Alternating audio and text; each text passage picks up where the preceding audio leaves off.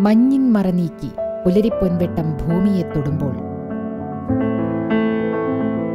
ദിനസരികളിൽ ജീവിതം ചലിച്ചു തുടങ്ങുന്നു. നന്മ നിറഞ്ഞ ഓരോ ദിനത്തിന്റെയും കൈപിടിച്ചെത്തുന്നു വാർത്താ പ്രഭാതം.